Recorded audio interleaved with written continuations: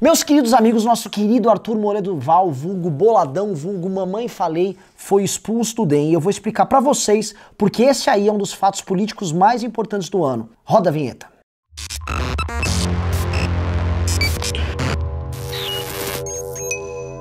Pois é, pessoal, notícia de segunda-feira, o Arthur foi expulso do DEM, o que também deixou muita gente que, enfim, cria teorias conspiratórias sobre o MBL um pouco de cabelo em pé, porque, ué, nós não éramos, tipo, aliados do Maia com o Centrão para reestabelecer grandes oligarquias, enfim, né? Na prática, o que rolou?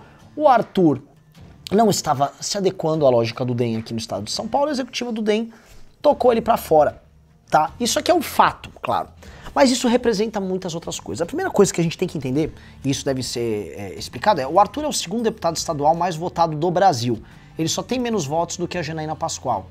Tá, o que também é, é assim, a Janaína é uma figura continental, monstruosa, no bom sentido, claro, né? Foi, foi uma das figuras centrais no impeachment da Dilma Rousseff. E o Arthur é um cara que tem voto. O Arthur fez a vaga dele para deputado estadual sozinho, então qualquer partido babaria para ter o Arthur entre os seus quadros.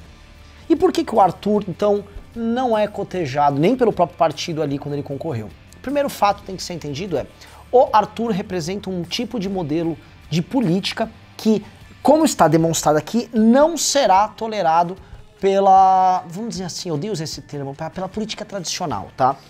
Partidos como DEM, PSDB, PSD, PP, né, o que a gente pode chamar da velha política não de esquerda, eles poderiam ter dado esse passo à frente e falar: compreendemos a revolução que houve na eleição de 2018, compreendemos o fenômeno político e vamos começar a lidar com isso.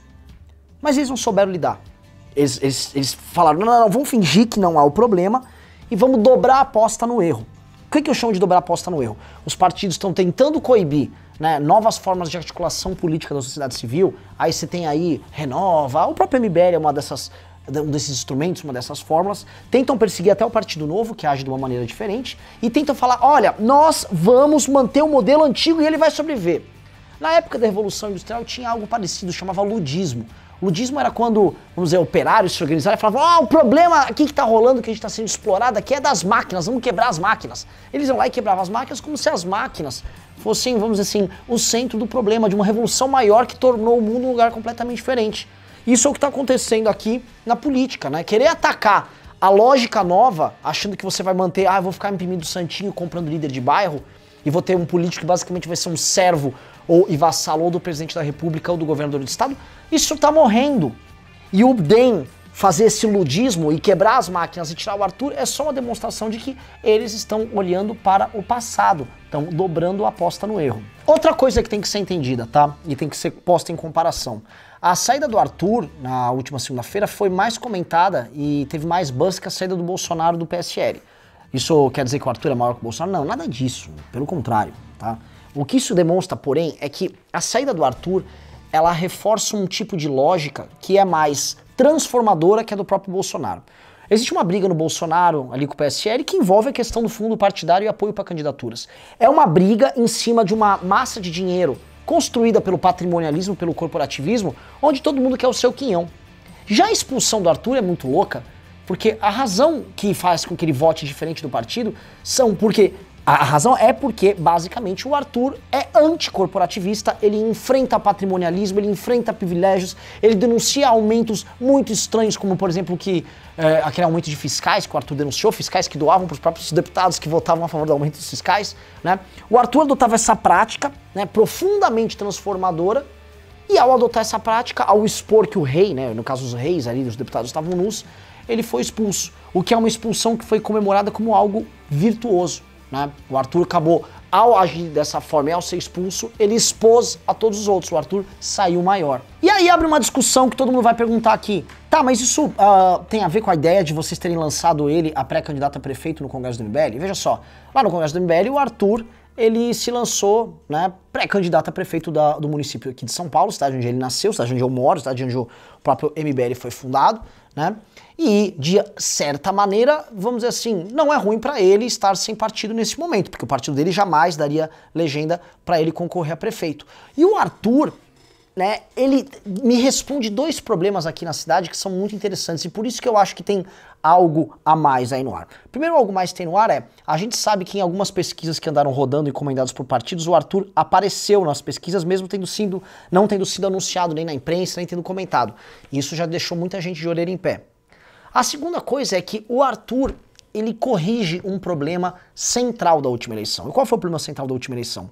O João Dória se firmou como João Trabalhador, como um símbolo, um ícone do paulistano típico. O paulistano tipo fala, eu trabalho pra caralho, eu resolvo meus problemas, eu cuido das minhas coisas, eu não quero mais, tipo, aquele pseudo-intelectual professor viajandão Haddad aqui, achando que minha cidade é um campo de experimentos. Eu quero gente que trabalhe e corrija problemas prosaicos e básicos, porque de resto eu me viro. Só que o Dória nunca foi gestor de porra nenhuma. Não era o cara que ficava viajando de helicóptero fazendo lobby e falando: olha só, pessoal, Brasil, São Paulo, século XXI tal. Um garganteiro. E ele ainda foi lá e abandonou, saiu da prefeitura, foi pro estado de São Paulo, largou um Bruno Covas absolutamente inepto e traiu essa lógica. E o Arthur representa, em oposição ao João Dória Júnior, o verdadeiro empreendedor paulistano. E acho que esse é o ponto central para mim. O Arthur, ele é o empresário true. Eu conheço o Arthur já há um tempo e eu sei do passado dele. A família dele trabalha na velha economia. Ferro velho, sucata, chapa de aço, mão calejada, carro indo com nota fiscal lá atender cliente, indo tirar pedido, indo negociar preço, reclamar do preço do diesel, reclamar do preço da gasolina, pagar imposto. O Arthur é o empresário normal que construiu São Paulo, não o empresário de uma bolha. Ali, em geral, a gente comenta muito da Faria Lima, não um pessoal que trabalha pra caralho, o pessoal da Faria Lima trabalha aqui nem louco. Mas essa bolha, tipo João Dória, que acha que eu sou um business empreendedor, mas que nunca fez nada de útil no mundo real. O, Arthur incomoda porque ele é o mundo real, ele é o empresário do mundo real, se rebelando contra uma estrutura elitista, não só dessa elite tipo João Dória, mas também da elite política, e mostrando que todos eles são farsantes. O perigo do, do Arthur via ser candidato a prefeito, é demonstrar a lógica do verdadeiro empreendedor, do verdadeiro gestor paulistano, que são esses milhares de donos de empreendimentos e negócios e comércios que tocam a cidade, mostrando que eles são a real economia paulistana e não esse monte de brincalhão e farsante, tá? Então essa história toda, essa, essa, essa expulsão do Arthur tem muito a ver com essa rebelião que tem esse substrato muito profundo que é profundo, é importante, é quase, se eu que não quero soar pretensioso, é quase sociológico. Então eu acho que assim, a, a candidatura dele, que pode vir eventualmente surgir, vou chamar agora de pré-candidatura, ela vem com esse desafio, né? Essa representação desses setores da sociedade que não tem basicamente representação nem voz, em especial aqui em São Paulo. E também uma coisa assim, não adianta que ele, eu e outras pessoas no campo da direita independente, posso assim chamar, criticar os métodos utilizados pelo bolsonarismo na sua relação com a política e não propor nada de novo. Acho que se o Arthur for candidato, ele vai estar propondo um novo modelo de relação política, tá? Que não envolva se misturar com o corrupto, mas sim, envolva sim fazer política, tentar obter maioria no parlamento para poder passar as pautas importantes, tentar ser incisivo e duro nas pautas que defende, sem ser irresponsável, palhaço, barulhento, estúpido, like pelo like. Acho que o Arthur recebe, é, responder esse desafio que está dado, se ele conseguir criar uma candidatura que responda a isso, ganhando ou perdendo, tá? Ele já vai ter contribuído muito pro debate. acho que o Arthur é um dos caras mais corajosos que eu conheço. Se bobear, é o cara mais corajoso que eu conheço.